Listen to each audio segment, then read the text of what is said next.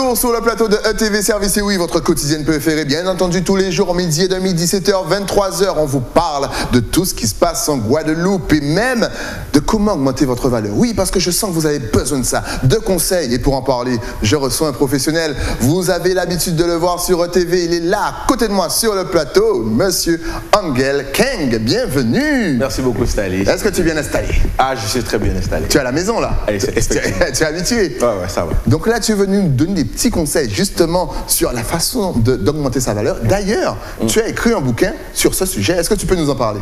Effectivement, je- j'ai écrit un bouquin qui s'appelle Augmente ta valeur et il y a quelques temps et puis ça a fait quand même le tour du monde. Là, on a ouvert notre 16e pays Ok. et continue de tourner parce que je vois que les gens dans cette société, ils ont besoin d'augmenter leur valeur. Ouais, Est-ce que- est-ce que tu sens déjà... Donc, deux questions. Est-ce que les gens se sous-estiment Mm. ou est-ce qu'ils n'arrivent pas à, je dirais, changer, des- changer de, de niveau?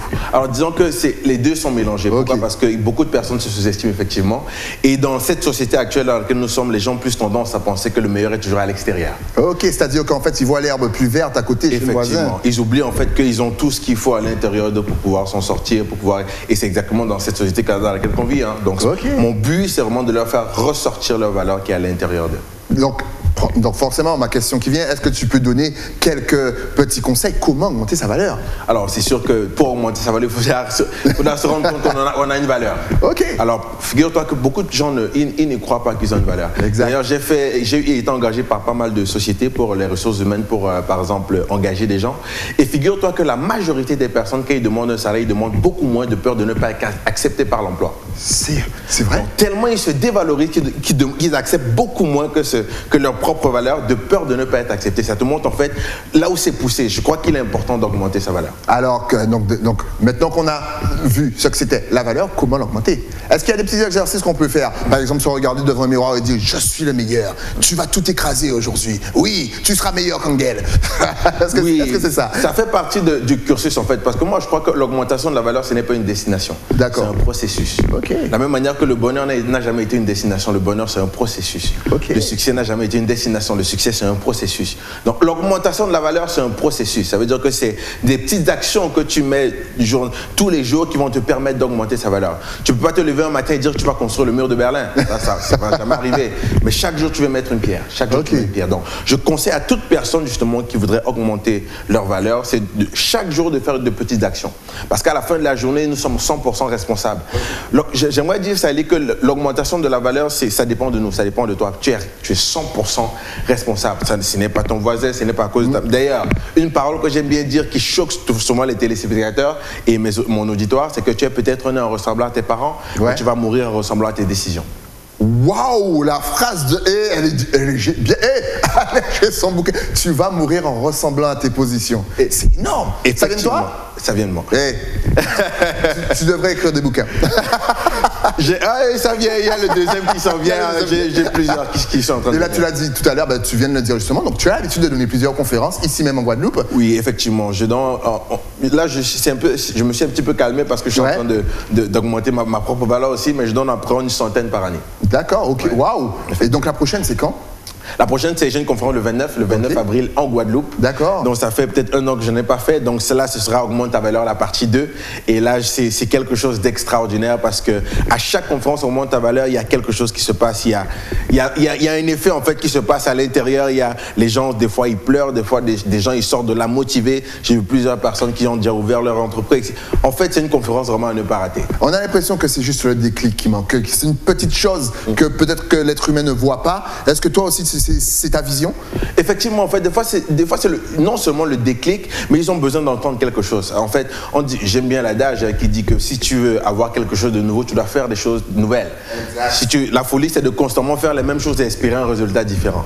Alors, pour avoir un résultat différent, il faut écouter justement des gens qui inspirent, il faut écouter ce genre de message, il faut tout le temps l'écouter. C'est pour ça d'ailleurs que j'apprécie les, les chaînes de télé qui passent de la motivation parce Ouais. que ça aide en fait, même si c'est pas pour maintenant, sur le futur, ça va forcément aider. En fait, il faut se mettre dans sa bulle, sa bulle de, de, je vais dire, de positif, et en fait, il faut s'élever. C'est bien ça. Donc, ça part aussi de l'entourage. Est-ce que choisir un entourage sain, ça peut aider à augmenter notre valeur?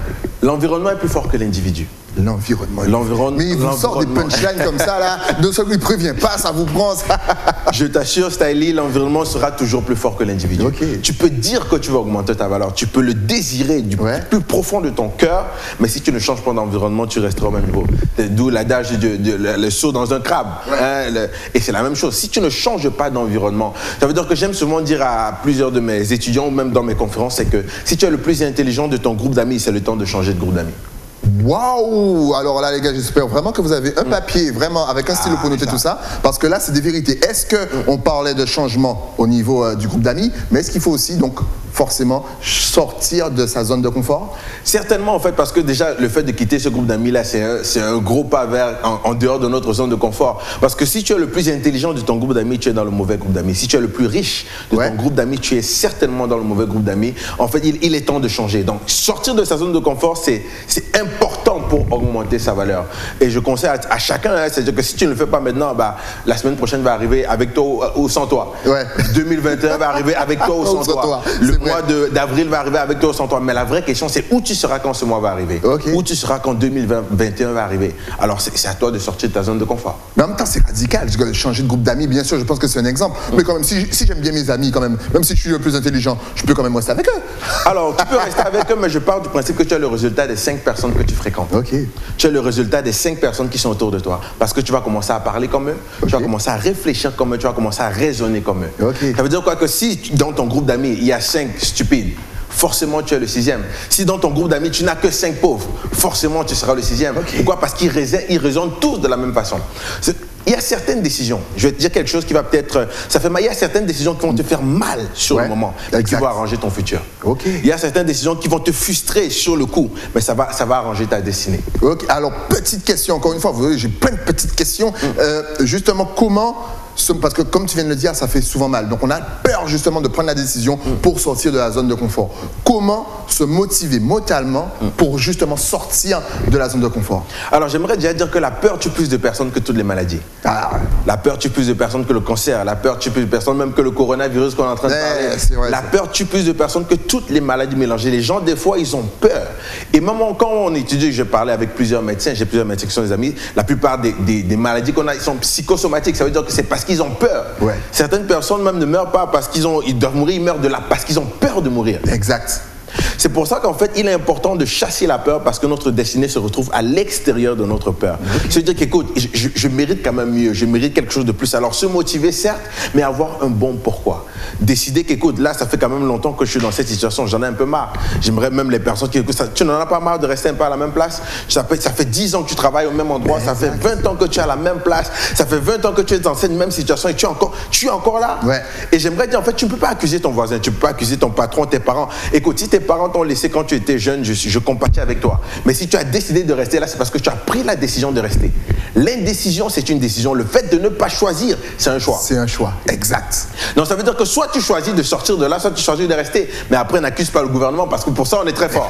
on accuse le gouvernement parce qu'il nous bloque. On accuse euh, euh, la société parce qu'il nous. On, on accuse la société parce qu'il nous bloque. On accuse le patron. En fait, non, c'est parce que tu as pris la décision de rester là. Alors tu es 100% responsable. C'est pour ça que je conseille à toutes les personnes qui sont en train d'écouter, prends la décision de sortir là, prends la décision de, de quitter. Prends la décision juste de te déplacer. Ça va te faire mal sur le moment, mais Ouais. ça va arranger ton Donc en fait, c'est mental. C'est Il faut avoir la force mentale de se dire bon, ça y est, je, je, je bouge. Exactement. Excellent. La vie, c'est 80% le mental et 20% d'habileté. Et comment est-ce que tu définirais la peur, justement? La peur, en fait, c'est ce sentiment, en fait, c'est souvent ces ang- cette angoisse que tu as qui t'empêche d'avancer. Mais pour moi, il y, a deux, il y a deux sortes de peur. Il y a la peur qui te paralyse, il y a la peur qui te permet d'avancer. C'est pour ça que j'aime souvent euh, donner un, petit exercice aux personnes justement qui viennent me voir, etc., dans les conférences. Chaque semaine, fais quelque chose qui te fait peur. Oh, c'est bien ça. Chaque semaine, fais une action qui te fait peur. Chaque semaine, fais un, fais un pas qui te fait peur. Les gens, des fois, ils me voient, ils me disent, écoute, Angel, c'est vrai que tu parles, on te voit dans les conférences, on te voit par- parler dans plusieurs conférences. Ouais. Toi, tu es déjà habitué? En fait, non, j'ai jamais été forcément habitué à faire ça. À un moment donné, juste pour parler dans une conférence, il fallait que j'aille aux toilettes. Et c'était pas pour faire un numéro un. Non Parce que mon ventre gargouillait. À un moment donné, je me suis dit non, il faut que ça Le gars, c'est s'arrête. Eminem dans 8 Miles. avant, avant chaque bataille, il allait vomir, tu vois. Justement, en fait, c'est ça le truc, c'est que chaque semaine, fais quelque chose qui va te faire peur. Alors, je me suis Il va te décidé. prendre aux tripes. Ouais. Je me suis décidé que chaque semaine, je devais aller voir un inconnu et commencer à lui parler. Alors, je marchais au centre-ville de Montréal. Je marchais justement dans, sur la rue Sainte-Catherine. Bon, t'as pas arrêté? Euh, Justement, il y avait des gens qui me disaient non, il y avait des gens qui me disaient que je suis fou, mais pour moi, c'était pour vaincre ma peur. Ok. Et je l'ai fait tellement, je l'ai fait. À chaque jour, ça, ça allait un peu plus. À, chaque- Ok. À un moment donné, j'ai commencé à avoir une facilité dans la discussion et finalement, je commence à parler. Maintenant, aujourd'hui, je peux parler à des milliers de personnes. Mais tu as, tu as commencé très jeune, toi, dans ce milieu, justement, je, je- je dirais même d'investissement. Parce que tu es aussi un homme d'affaires. Eh bien, comment tu as commencé, justement? Alors, disons que, bon, euh, j'ai commencé quand même, on va dire, jeune. Ouais. Pour moi, en fait, dans ma tête, je voulais, je voulais vivre euh, la liberté. Ouais. Je voulais pas forcément travailler toute ma vie pour une personne. D'ailleurs, c'est ça que je l'enseigne, c'est ça que je vais partager, même pendant la conférence. Aujourd'hui, les gens vivent le 40 fois 40 fois 40. Euh. Tu travailles 40 heures par semaine. Ouais. Pendant 40 ans, à la fin de ta vie, on te donne 40% de ton salaire. Exact. Et en fait, on vit dans une prison économique. Et ça n'a rien à voir avec l'argent, ça a tout à voir avec la liberté de faire ce que tu veux. La liberté de voyager, la liberté. Alors moi, très jeune, je voulais avoir cette liberté-là. C'est pour ça que j'ai commencé à investir un peu dans quelque chose. D'ailleurs, mon premier investissement, c'était une machine à bonbons. On, peut le voir d'ailleurs en double. C'est lui, le rappeur là que vous voyez, c'est lui. Justement, une machine à bonbons.